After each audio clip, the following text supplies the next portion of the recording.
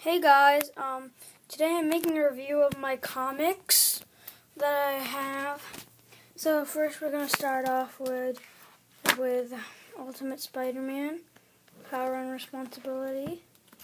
Uh, this has uh, one to seven comics.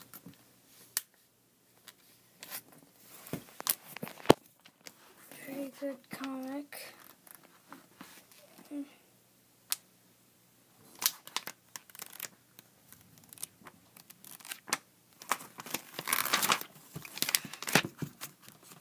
Mm, no.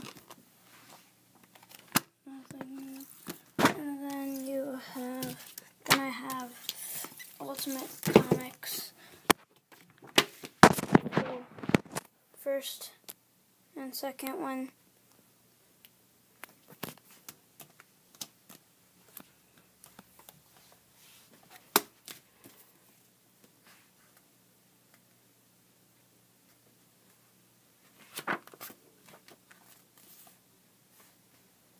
That's his costume. Second one.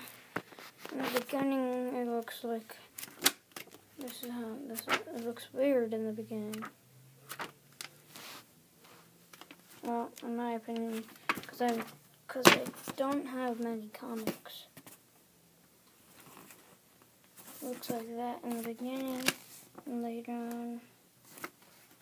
Eh, if I skip through most of the comic, it'll look like that. Exactly how it looks in this one. I got this from Universal Studios, where I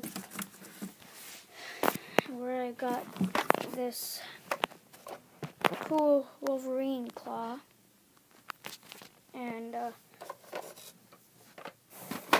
yeah, that's it. And I'll make a review of the Wolverine claw later. Bye.